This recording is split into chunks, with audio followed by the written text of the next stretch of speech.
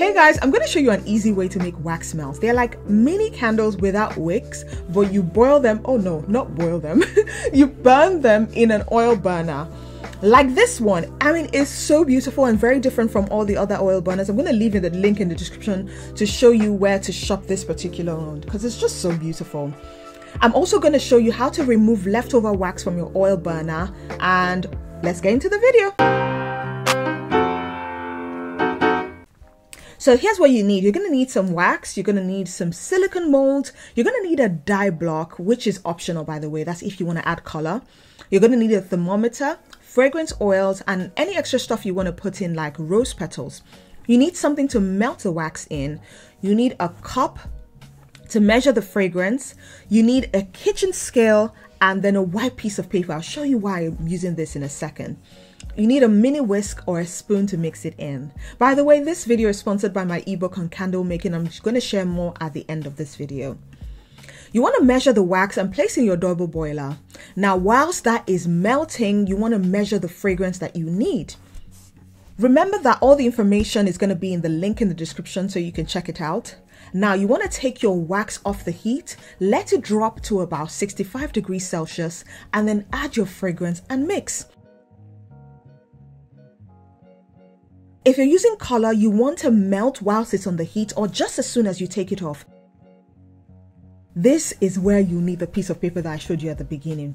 You can't really see depth of color just by looking into the can. You literally can't. So just take it and drop it on paper and let it harden and then you see how much depth of color that you have. This is my trick for getting perfect color every single time.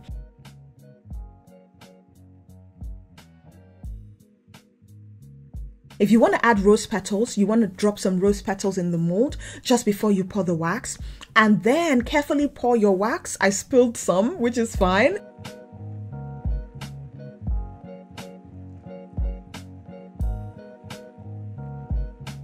Let it harden and that is it.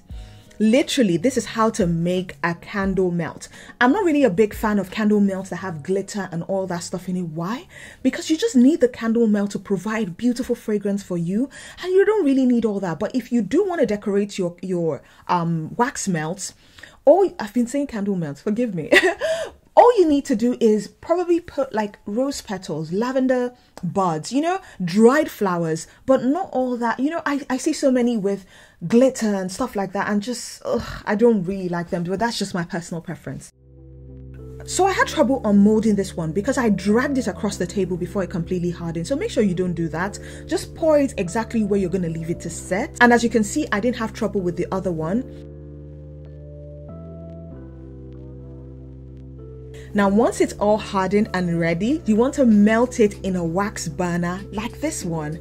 Such a beautiful one. And now I'm going to show you how to remove your leftover wax should you have leftover wax in your burner. You want to leave it to harden. Obviously, your wax will harden. And then you want to pour some hot water over the wax. If it doesn't come off because it's a thick layer like the one that I have here, what you can do is to light the candle underneath the burner and let it burn so that it burns from the bottom and then remove or turn off the candle. Let it harden and then it's so hard that you can literally press it and the water will be right underneath and then you can just scoop out. Another trick you can do is to light it up without water, let it light up for a short while and then just scoop it out. Literally, it's so easy. If you enjoyed this video and you want to learn more about candle making on a professional level, I want to invite you to learn more about candle making through my ebook, which covers everything you need to know about candle making if you want to start a business making candles. It covers your type of wicks, measuring wax, mixing fragrances, literally no guesswork anymore. This is the kind of book that I wish I had at the beginning of my candle making journey, and I want to offer it to you guys so that you can learn everything you need to know about making candles. You will make a consistently strong smelling candle every single time. Don't forget to subscribe if this is the kind of video that you like and you love my channel. Subscribe, it helps my channel grow. And I love you guys, and I will see you guys later. Bye.